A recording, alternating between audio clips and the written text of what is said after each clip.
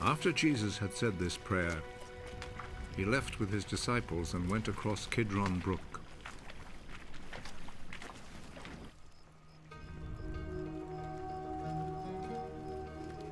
There was a garden in that place, and Jesus and his disciples went in.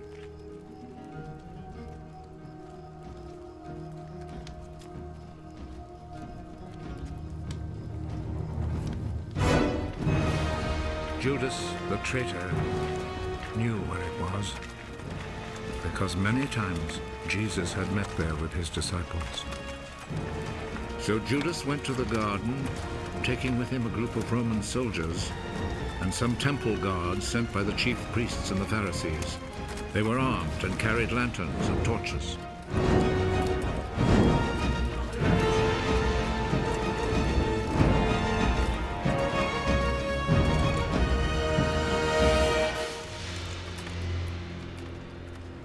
Jesus knew everything that was going to happen to him.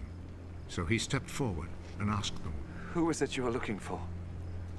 Jesus of Nazareth. Judas the traitor was standing there with them when Jesus said to them, I am he. They moved back and fell to the ground.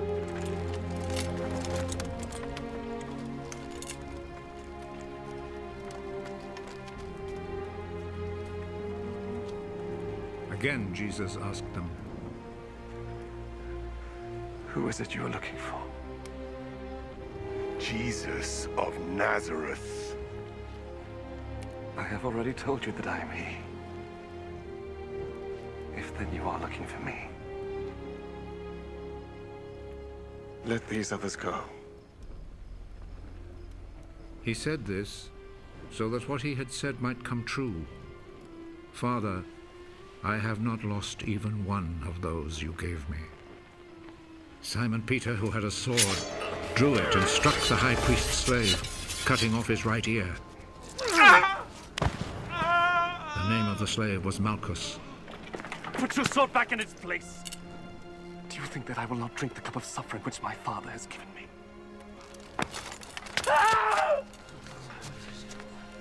Then the Roman soldiers, with their commanding officer and the Jewish guards, arrested Jesus, tied him up,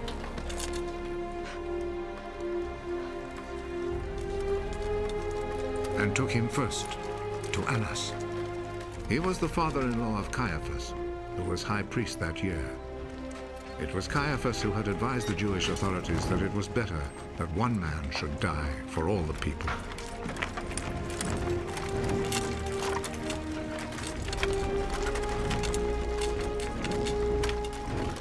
Simon Peter and another disciple followed Jesus. That other disciple was well known to the high priest, so he went with Jesus into the courtyard of the high priest's house, while Peter stayed outside by the gate.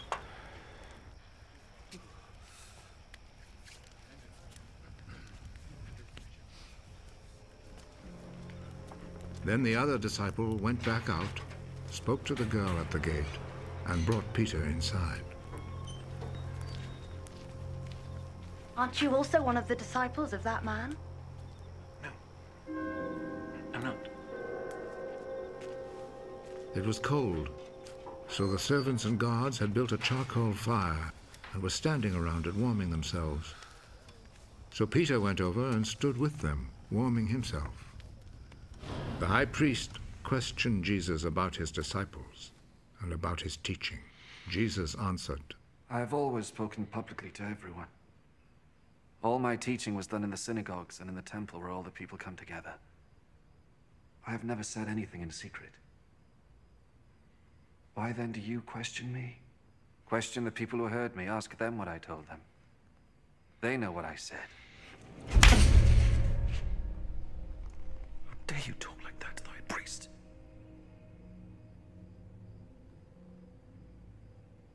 If I have said anything wrong,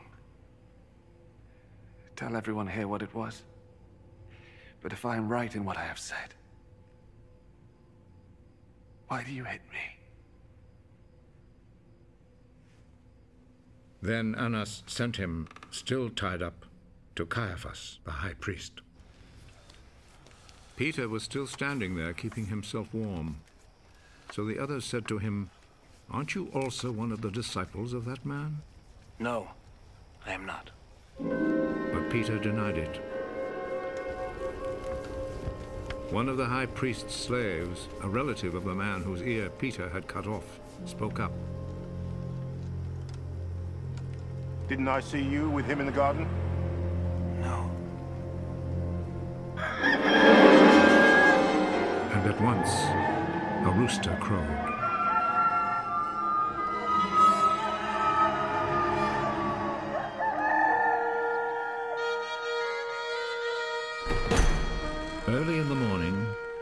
Jesus was taken from Caiaphas' house to the governor's palace. The Jewish authorities did not go inside the palace, for they wanted to keep themselves ritually clean in order to be able to eat the Passover meal. So Pilate went outside to them and asked, What do you accuse this man of? We would not have brought him to you if he had not committed a crime. Then you yourselves take him and try him according to your own law. We are not allowed to put anyone to death. This happened in order to make come true what Jesus had said when he indicated the kind of death he would die.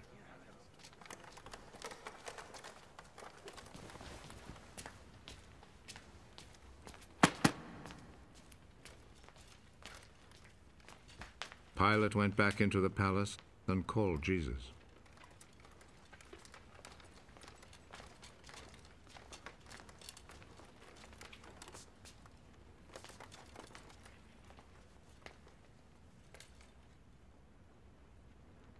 Are you the king of the Jews? Does this question come from you? Or have others told you about me? Do you think I'm a Jew? It was your own people and the chief priests who handed you over to me. What have you done? My kingdom does not belong to this world. If my kingdom belonged to this world, my followers would fight to keep me from being handed over to the Jewish authorities. No. My kingdom does not belong here. Are you a king, then? You say that I am a king. I was born and came into the world for this one purpose. To speak about the truth. Whoever belongs to the truth listens to me. And what is truth?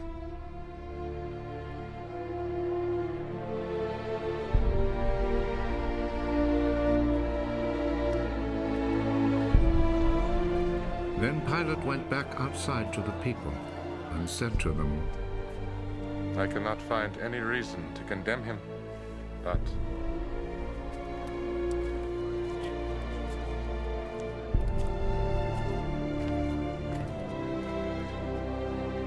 According to the custom you have, I always set free a prisoner for you during the Passover. Do you want me to set free for you the King of the Jews? They answered him with a shout. Give us Barabbas!